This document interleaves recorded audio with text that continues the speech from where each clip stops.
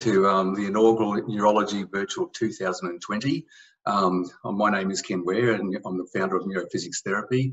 And um, it is a great honour to be able to do to have the opening presentation here tonight. Oh, it's tonight for me, it's 10 o'clock at night. Um, identifying what the structure and time-dependent dynamics of pathological tremors inform us of from a self-organising complex dynamical systems perspective within a neurophysics therapy setting. So the life and times of pathological and non-pathological complex adaptive systems generated chaotic brain dynamics, commonly referred to as tremors. Can everybody see my presentation? Yes, here it's okay. Yep, you're able, you're able to see the presentation. Yep, great. Okay, so pathological tremors, of course, are studied quite extensively and for all the right reasons. They're quite um, detrimental to the health of the person and, and, of course, the families and all that type of thing that suffer a lot from people who have these type of pathologies. And um, they're, you know, they've been studied at close range for their statistical significance and research into their biological and mechanical origins. I mean, of course, to develop medications and rightly so to help with the treatment of these particular disorders. However, stepping back and comparatively evaluating these dynamics through a self-organizing dynamical systems and chaos theory lens opens up a broader avenues for understanding of the overall psychophysical state of systems exhibit pathological tremor when compared to the deterministic chaotic dynamics of healthy systems. And then with an enhanced and unbiased understanding of what the architecture of any variation of pathological tremor informs us of from a systems perspective, along with neurophysics therapy primary approach to treat the person and not the disorder, neurophysics therapy has proven to be highly successful in the better management of and often alleviations of pathological tremor episodes.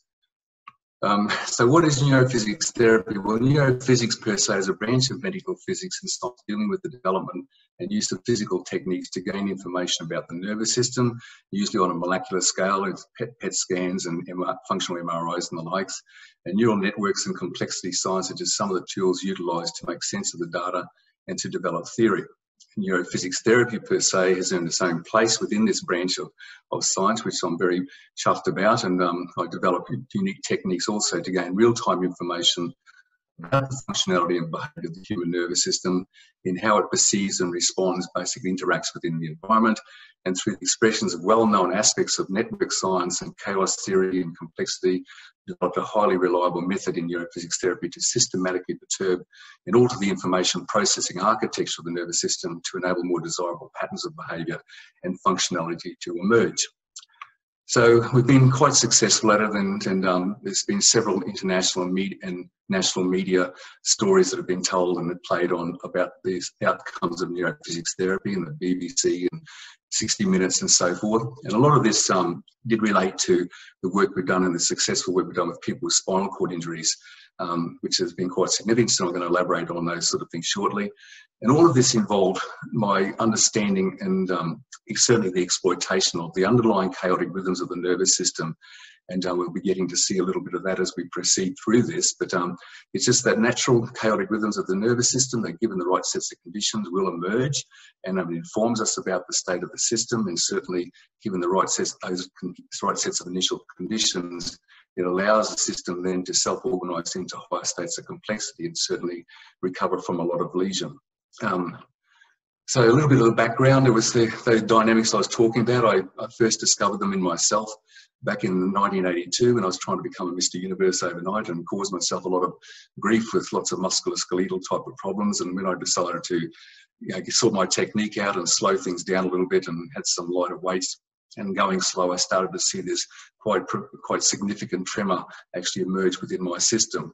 And um, I just uh, naturally assumed then that this is the what I'd actually done to my system and the way that I'd been training, and um, it was quite quite intimidating to be honest. And um, as time time went on, it became more and more chaotic. And I just thought, well, if this is the case, if I just let this tremor evolve, then I intuitively thought that somehow my system would correct itself and fix itself up. And and of course, at that particular time, I became one of the very first people that thought of tremor as being something useful that was informative, and um, certainly had the ability then to to help the system to generate its itself its self healing. So I studied this phenomenon, became quite fascinated by it, and started to experiment with other people several years later. and um, under the same type of conditions by applying a mild stimulus to their self-initiated stimulus to themselves. And these were people who were suffering from long-term disorders, musculoskeletal mainly, um, that we've seen a similar thing emerge where the, the, tremor would start to emerge and by coaching those people to just let it evolve, um, but these people were also recovering quite significantly from some long-term ailments. And um, I became quite successful at that and found myself I was invited there to take my whole operation into a private hospital in Mackay, North Queensland, where I was living. And um, we got to work with a lot of interesting patients in there because there was a psych unit in there as well. So and it didn't seem to matter what the what the disorder was, whether it was a mental disorder or a physical disorder as such. Um, the, the, methods that I developed and the techniques that I developed to expose these underlying states of the system, and then they would give rise then to more complex patterns of behaviour and seeing disease and disorder, of course, as a loss of the system's complexity. So I, you know, it's very interesting, and of course, um, we got, to deal with lots and lots of patients, as I said, but I realised that there was going to have to be some scientific validation for what I was what I was doing, and um, I was getting a bit of criticism from outside of the hospital in terms of that. And um, so I worked very hard trying to find it. There was nothing in neuroscience that could help explain the rapid transitions that were occurring. You know, plasticity was very popular, of course, but this went a little bit beyond that um, because we're seeing quite significant recoveries in, in very short time scales. So I eventually started to, to look into chaos theory and I could start to see language in there that was helping to describe the phenomena that I was actually witnessing. Um, by 1998, I'd actually developed a complete model that would help explain it. Um, but it took another 12 years before anybody really took any notice of me. And I, that's when I started to first speak at international science conferences.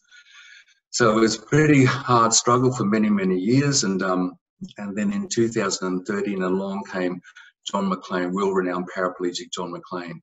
Um, so John had, as I said, he was a very famous um, paraplegic. He was um, the first person, first paraplegic to swim the English Channel and to um, to complete Kona the Hawaiian Ironman. He was recommended to come to me for pain therapy because he had some chronic pain. And um, as a result of that, I mean, I had never worked with a person with a spinal cord injury before, so everything was quite innocent. There certainly wasn't anything about walking at all on the table. Um, so when I first started to work with John and he enabled his system to let the natural chaotic rhythms emerge in his system and then evolve to the to the level we started to see some you know incredible things happening in, in his legs that he was certainly unaware of so i'm only going to show you that footage now and um, it's quite historic footage it's a quite a famous story this was one of the ones on 60 minutes so we'll have a look at those dynamics now And I'll talk you through it. So as you can see there, um, John's starting to just let that tremor evolve within his system and very shortly you're going to start to see how that start to emerge below his legs. Now, John could not voluntarily, he could have a little bit of voluntary movement over his right leg, but his left leg had absolutely nothing. Um, so you can see under these conditions that his legs were behaving quite bilaterally um, in sync with his upper body. And the tremor aspect became more intense. And what's interesting here when you see John finish this is you'll see that his left leg flops back out to where it's to the position that it would normally be and he has to actually bring that in by his hand. So under the conditions of learning, of letting go, you can see the look on John's face, he was quite taken back with this.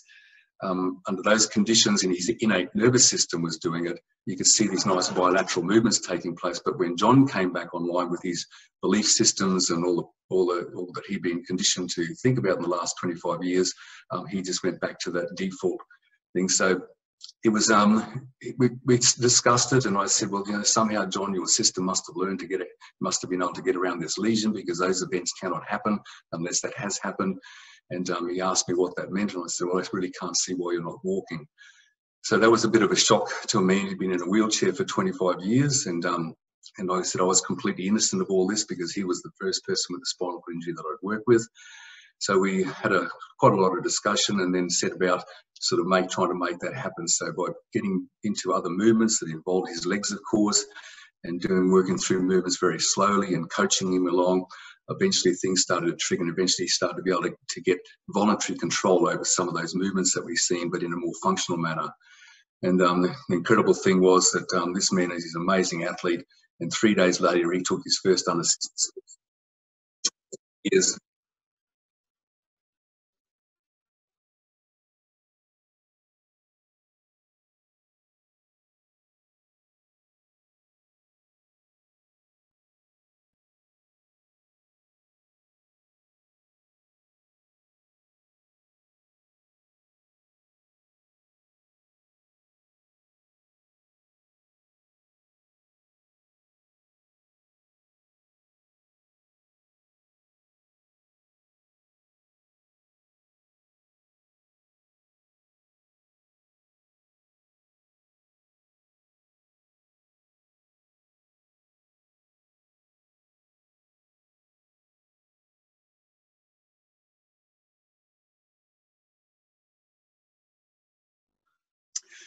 So it's quite amazing. John's, John has his book out, How Far Can You Go? You can see on the right there.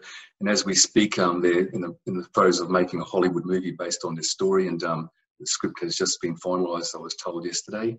So um, 18 months later, John went on to complete an able-bodied triathlon, and it's quite an emotional moment as he crosses the line, finish line there, holding his son Jack's hand and his wife Amanda. Um, so incredible story, and um, yes, and you know one of the other most one of the things that I guess neurophysics therapy is quite proud of is is with Kylie here, who um, very graphic images there. Kylie had an aggressive sarcoma. They waited until it had a two litre blood supply until they actually thought it was suspicious, and that resulted in the removal of her complete sciatic nerve, hamstring compartment, a three-course adductor process, and so forth. And of course, all bets were on that Kylie would never be able to voluntarily um, bend her leg back, um, certainly not walk properly, or, and, and, certainly enjoy the functionality that her leg had before. And as you can see some of the images over there, we can see Kylie doing those things.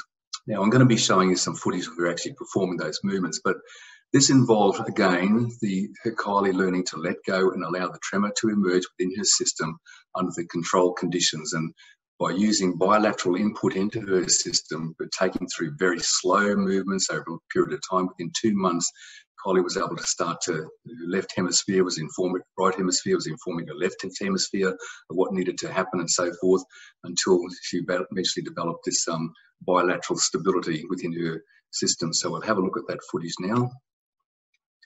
So it's quite incredible to actually see this person when of course most of you would certainly realize what the consequences would be for having your complete sciatic nerve removed and your hamstring and so forth and to see her generating these nicely stable movements so there's lots of um, things and, and, please don't take notice of this footage this um, particular image here somehow it's been reversed. So it is her left leg not her right leg of course. You can see lots of focus was required there but um, but again, it was the tremor activity that really generated a lot of these responses that enabled her to, to start to use this, utilize this leg. So we can only assume that a lot of de-differentiation and differentiation occurred um, where that involved the agonist and antagonistic crossover to be able to generate these movements. So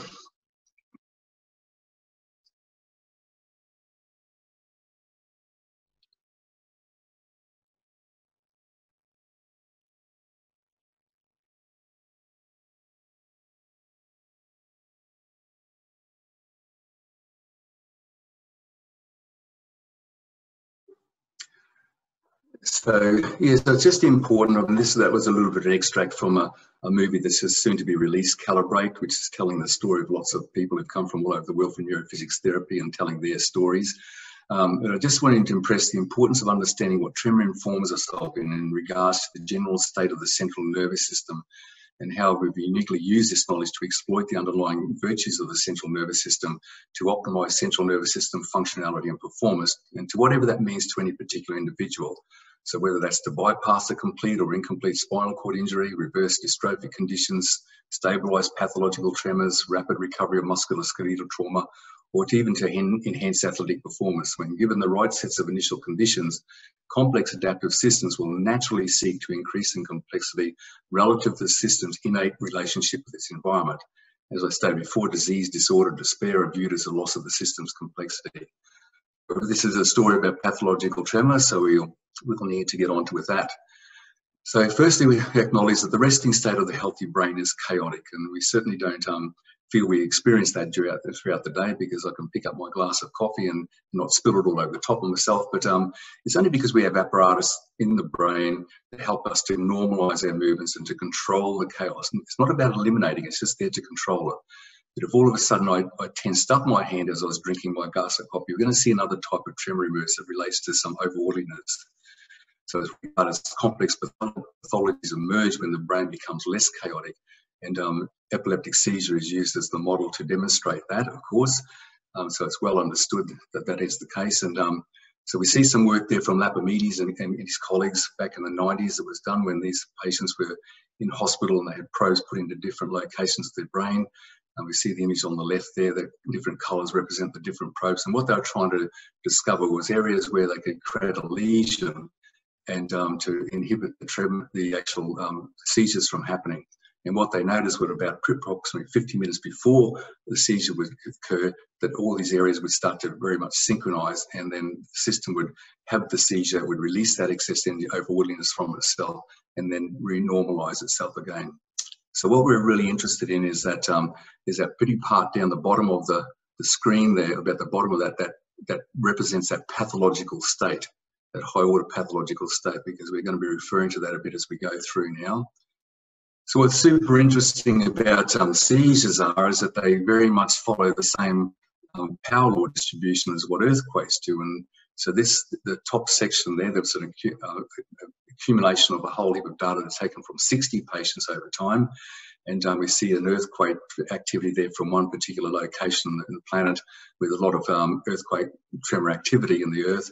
So they could see that even though, even through the, the spaces in between the, the intervals, between different tremor activity in the earth and um, the actual intervals between seizures, they see that even that seemed to line up.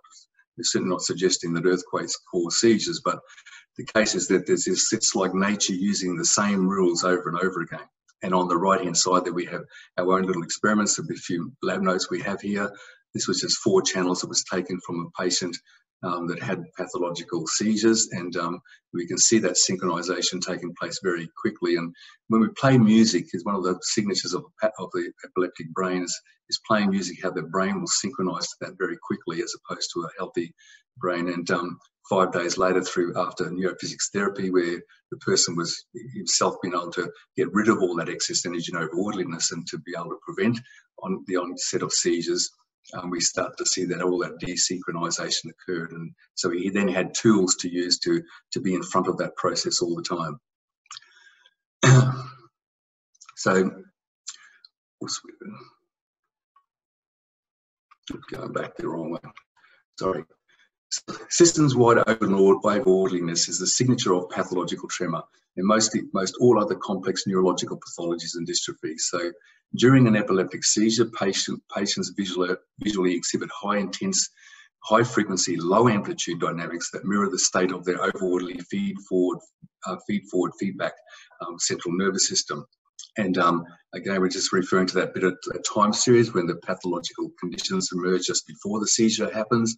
Now we start to then, by scaling these overall dynamics down, we visually and electrophysically observe that overorderliness and hypervigilance of the central nervous system is a signature of patients presenting with a range of unilateral or bilateral pathological tremors. And their awareness of their tremor increases anxiety in these patients, which creates a positive feedback loop that amplifies their tremor. And um, this concludes that there's an emotional or, or origin or connection to the onset and evolution of their rogue tremors. So the EMG, the data that we have at the bottom there, these EMGs that were put on the trapeze, the right and left trapeze, um, the top two channels, the middle two channels were the right and left abdominal wall, and the right and left adductor process, the length of the inner thigh at the bottom there.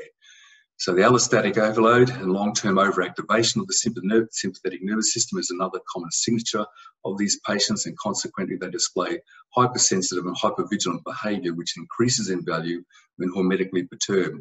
Their baseline background muscular tone of the trapeze, viscera, and lower limbs in particular is significant. The acuity of sensory systems processing is naturally very noisy and compromised during these states. So again, we're looking at the role chaos plays in the maintenance of healthy psychophysical systems, and we see centre stage there some work from Ari Goldberger and colleagues back in the 90s, looking at the healthy heart dynamics over a 30-minute period. And um, you know, when people are asked the question, which one is the healthy heart rate, there's very few people who actually pick B because they think that it's uh, something that looks chaotic and quite random, but that is the actual heart, healthy heart rate, but it's showing lots of variability and lots of fractal qualities as opposed to A, C, and D, which are all pathological states. So again, we're looking at that time series where we see this, this high level of high frequency and very low amplitude and um, lots of periodicity in that as well. So the EMG that we've harvested from from different pair, the one we have on the top there, again, the right and left, uh, the right and left trapeze, the right and left abdominal wall, and the right and left adductor process. So the data at the top is from a healthy person. Um, so we see that's very similar to the dynamics of the healthy heart. where we see lots of variability. So when something happened at the area of the trapeze, it happens simultaneously right through all those other parts. So there's a nice flow of, of information through the system. Um, then we call that a pink noise signature. Then we looked at the the typical white noise type of signature of the person with harbour complex pathology, physiological pathologies, psychophysical pathologies, including tremor below. So that's a typical thing, very lots of free, high level of frequency and very low amplitude. So a little bit of reverse engineering. So most research is mechanistically dedicated to forensic investigation to determine who the main biological actors are responsible for the onset and evolution of pathological tremor and to the development of medications to ease symptoms, whereas the origin, origins of disease and disorder relates more to determining the sets of initial conditions that give rise to lesions within the central nervous system. And within a complex adaptive systems framework, lesion is the end result of the system's extreme sensitivity to initial conditions, both the system's initial conditions and the, and the system's perception of initial environmental conditions. So tiny influences can have a major effect, and of course, that's the famous butterfly effect that I spoke about, which was just an analogy for that. Um, yet major perturbations can have very little effect. So there is enormous degrees of freedom for the system within this landscape. So if we wish to understand the behavior of the system and where things could have gone wrong, then we need to have some sets of rules and some stable sets of initial conditions to reliably measure the system's emergent behavior. So let's now look at some sets of initial conditions that the human system is extremely, set, extremely and measurably sensitive to that could potentially generate rogue tremor dynamics. Now we all know why there would be a wobble on a wheel, correct? So the one thing that is totally constant and that is gravity within so everything in the natural world has evolved a structure that optimizes performance and functionality that is responsive to and measured against the only constant there is and that is gravity. So our posture, is like a rule. And when we have that good posture where we're basically offsetting the effects of gravity on us. Um, however, if you look to the picture at the right there, that has the number 30 on there, the typical posture that person displays is very much similar to the posture that people with pathological tremors display. So they're in this forward type of position. It's like as if they're prepared. There's a lion about to come in the room. And they're just about prepared to, to do something about that. Um, so it's what we'd call a state of over preparedness. Uh, so can we say that all people with poor posture will develop a pathological tremor? No, we cannot. But what we can say from all our studies with and observations of the numerous patients who have treated who presented with pathological tremors, um, coinciding usually with other psychophysical conditions, is that each patient has maintained very long-term significant posture neglect. For the human being, optimum psychophysical performance emerges from good posture. Anything less than good posture equates to a drop off in, in physical emotional performance and compromise their relationship and perception of the environment. So all animals have evolved a sensory motor apparatus to enable them to navigate through their environment in an optimal manner to enhance their survival and the survival of their species. And humans are more emotionally complex, of course, and the emotional regions of, of the brain have a determining influence over the posture of a person at any point in time. And for example, a person suffering from depression will exhibit compromised posture during peak periods of depression. So using that as the rule, so we can sort of say, well, what came first, the chicken or the egg? Was it the, the, the, the pathological tremor aspects of it that was causing the posture or vice versa? And as we jokingly say, the chicken is just the egg, egg's way of getting another egg, perhaps. So However, as we said, the entire central nervous system evolved around that one constant in nature, and that is gravity. And the beautiful thing about having a reliable constant to measure performance of the system against is precisely that. It's reliability and accuracy of data. It is expected that any particular signal to noise ratio measurement taken at times when a person is exhibiting optimum posture, that if they were to stray away from optimum posture, that there would be a measurable increase in noise that the system's evolved stabilizing features would need to criticize and compensate for. This would infer sudden hyperstimulation of basal ganglia, cerebellum, thalamus, etc., and no problem short term, but what about long, long term, years and years of poor posture? In the case of Parkinson's, for example, is if the system is forced to continually compensate for posture neglect, is there mass long-term overstimulation to an overworked substantia nigra, the root cause of the disease where neurons die off from overstimulation, eventually passing that threshold where more than 70% of the neurons have died, and which time, at which time tremor and other pathologies emerge with, within dopamine dependent structures, functions. So we have some nice data here. So we have this, the data on the top is from a healthy person And the perky periods that you see in there, that's when that person was in that was at their constant, um, the vertical constant. So when we, what the idea was that we'd move them forward away from the vertical constant because it's that forwardness that we see in pathological tremor. So when we move the person away from it, we see that typical time series start to emerge that relates to that pathological things we've seen in the epileptic seizures and so forth. Um, so then we, so this particular thing, we went from, from 150 to 210 seconds. We got rid of all the early stuff as we are sort of setting the experiment right. And um, then we played it again from 270 to 360 seconds. And we've seen that the, the, the perkiness became more animated. And um, of course, we started to see that, you know, the difference between that perkiness when they're at their that, that um, vertical constant as opposed to when they're moved away from it. Um, what was interesting about that was the, the right, uh, right abdominal wall started to display a more permanent feature, which was corrected later on. But down the bottom there is a person with, with orthostatic tremor patient. Um, so we did actually time this from zero to, to 100 for the first 100 seconds. And um, you've seen that typical time series. And, um, and as we, this, in this case, we were actually moving them towards the vertical constant. So because they have they naturally have that forward position. So as we move them towards the vertical constant, we started to see some perkiness appear in the data there. Um, but what's really interesting about this orthostatic tremor is that it seems to be this sweet spot when these people have this right this tone at this right level of forwardness. That's when it, hurts, the tremor of the hertz really increases. If they lean a little bit further forward, it tends to back off a little bit. So it's just this one particular state where it becomes very um, high frequency. So we persevered with that, and I think it's a 190 to 250 seconds there. We started to see more perkiness in there as they got uh, more accustomed to moving towards that that vertical constant. So that vertical constant is is is something that's very nice to measure to. Like I said, it's the only reliable constant that there is in nature. Um, the one thing that never changes, and that's that gravity. So um, it's just a very good um, thing to to measure um, your systems against. So one of the things for sure is that all these data points, all the point data points in these data signifies events occurring at all scales of the central nervous system and are sympathetic to discrete movement modulating structures in the brain and spinal cord. So what have we learned um, and acknowledged from our observations re regarding the state and typical profile of people with pathological tremor? Well, they have very long-term postural neglect is all and combined with long-term stress, usually business or work related.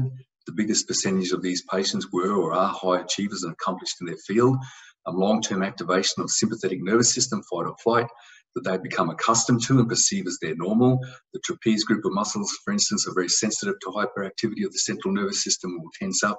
And these people have displayed very long-term tension within that trapeze area for one. The normal arrangement being that the parasympathetic nervous system would kick in and return the system back to ideal allostasis and allostatic overload is when the is when the parasympathetic nervous system is not able to kick in due to the person's ongoing perceptions and actions that keep the central uh, sympathetic nervous system hyperactive.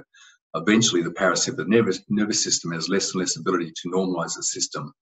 We have rogue sensory generalization, where they perceive non-noxious environmental stimuli as noxious, um, and that is they cannot place discriminate values on their environmental experiences.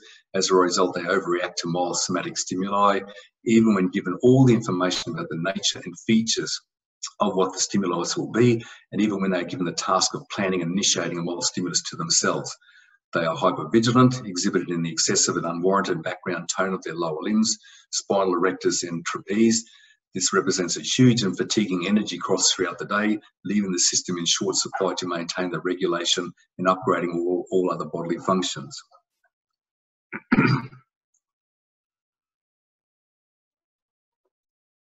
noisy inputs infers noisy outputs, so all systems are governed by the same rules and the ongoing pursuits of pathological tremor is essentially dependent upon some psychophysical sets of initial conditions. So positively and systematically altering some relative sets of psychophysical conditions will enable the system to naturally self-organize to give rise to new behaviors, that is a positively more softly central central nervous system. So as we said, treat the person, not the disorder, and mostly the emergence of pathological tremors is the end result of long-term posture neglect, allostatic overload, and hypervigilance. This needs to be detrained and patients have to learn to let go. If a person, for instance, was asked to tense up their body to the degree that most patients present in, they would also begin to tremble in no time, tremble in no time at all due to the fact that they are inhibiting the release of excess energy from their systems. So as we said, noisy inputs infers noisy outputs, and this is a really simple rule, especially in consideration that the motor system is the slave to the sensory system. First we sense, then we respond. So we need to consider if we are looking at a sensory systems issue or a motor systems issue. If motor neurons are not being stimulated in an orderly fashion, they will deteriorate in some way over time. So if you were to hold a glass of water yourself excessively tight as you raise it to your mouth, your hand will tremble in a very similar manner to patients' hands that, that um, with certain pathological tremors. Um, that is about four to seven hertz, and depending on the how, the how firmly you squeeze the glass of water, the diameter of the glass, and how much water is in the glass. In this sense, it's always good to, a good idea to have a computational equivalent of what you are studying in order to find another example of the emergence of the phenomena you're studying in nature to compare and measure to and to make better decisions towards what the origins of your phenomena are most likely to be. Um, we say that treating symptoms can be a little bit like putting masking tape on a broken windscreen. Um, it is observed in these patients that increases in anxiety, increases levels of, increases tremor intensity. This points to the amygdala's direct influence on the brain stems, the brain stem, the thalamus, motor cortex, basal ganglia, or the ventral amygdalofugal pathways. Um, neurophysics therapy then involves a self-controlled hormesis-like perturbation to the patient's central nervous system via the use of resistance equipment, which initially results in a high dimensional increase in the patient's symptoms, resulting from the in initial increase of arousal of the patient. The purposely prescribed perturbation is repeated and the patient is encouraged not to inhibit their tremor and instead allow it to increase in value. And this can be quite confrontational to the willing and trusting patient, of course, However, when the patient participates and cognitively learns to let go and enable their tremor to evolve, we observe a desirable change in the structure and time-dependent dynamics of their tremor as their system disposes of its overorderliness and self-organizes to higher states of complexity. And neurophysics therapy has been proven to be highly effective for patients who are prepared to render their own healing through this evolving process. So perception, action, and cognition, main, you know, the identifying the main pathological tremor altering features relative neurophysics therapy. The idea is to establish, re-establish good posture as the person performs slow light resistance movements while working through the stable grids that specialized exercise machines afford, lateralizing the hemispheres to perform the same task at the same time scale, recentering the, the sensory experience, and it's only through perception, action, and cognition, all taking place at the same time, is it possible to even consider that a lasting positive change in behaviour is likely to emerge. So we need qualitative, reliable measurements to verify holistic assemblies of neurons in a person's brain are firing differently to how they originally were at the beginning of the therapy to, to signify that a change in behaviour has actually happened. Um, a little note at the bottom there, if the tremor was in one hand and not the other, for instance, we need to go to the relative hemisphere and lateralize that hemisphere to the other hemisphere to correct hemisphere imbalances. A little bit like driving a car with a wheel unbalanced. So always pick the person, not the disorder. So correct sensory perceptual errors to systems-wide improvements and focus on working through the grids to dispose of sensory perceptual noise. So I have a two-dimensional um, grid that's drawn over one of the machines that that person is doing. And um, in, a, in a safe, supported environment, that person is using a very mild stimulus. They're bringing it across their body very slowly with their eyes closed. And this is when we see this hypervigilance start to emerge under, which is unjustified given the conditions that there are. And what the person learns to do then is to be able to, to detrain those responses and to be able to stay calm and composed as they go through it. During this phase, this is when the tremor is most likely to emerge, which we encourage to let go, get rid of some of the overorderliness, and progressively it starts to, to return their system to a much more orderly state. So unilateral features of the machines supply this sta stable backdrop, which is a grid that enables us to observe, assess, and evaluate the psychophysical system against each point in space-time where every fluctuation matters. So a typical perceptual error relating to a hemisphere dominance is perfectly is purposely demonstrated there, and there are the types of things that need to be corrected. So we have some compelling data here that um, example of systems-wide up self-organisation of the central nervous system of a pathological case resulting from four days of neurophysics therapy. So this time we actually had EEG, which is channel 8, and um, premotor and motor cortex, ECG, which is the channel 7 there, um, the EMGs and the typical trapeze, abdominals and adductor process. So we got a very nice systems-wide view of what was actually taking place. So we see on the top section there that was day one at rest before neurophysics therapy, looking pretty scrambled, especially the EEG. Then there's heart dynamics with displaying some pretty unusual type dynamics with lots of arrhythmic events. And I must note that this all this data was harvested at 980 hertz, so very densely populated. You need to zoom in on that quite uh, quite a lot to be able to see the, the um, variability and the fractal aspects of it.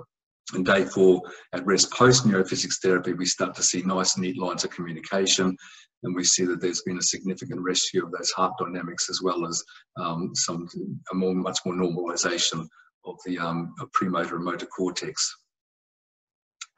So this is another study we, that we actually performed, general mutual information analysis with sensory-motor rhythms in a person suffering from uh, long-term from, from FSHD, form of muscular dystrophy, before and after neurophysics therapy. So on the left there is the control, in the middle is the is the patient, of course, and then as, as after the four days of pre-neurophysics therapy and after the four days of neurophysics therapy, we started to see a normalization occur within those data. And that coincided with lots of um, enhancements to that person's functionality that had been lost for quite some time. And it sort of begs the question, what were the genes doing at this point in time that is supposed to be responsible for type development, the on development of this disorder, um, what were they doing when all these nice transitions were occurring? And that particular patient, there was 30 years of, of this disease involved, and he's gone on to get back into business and do some amazing things.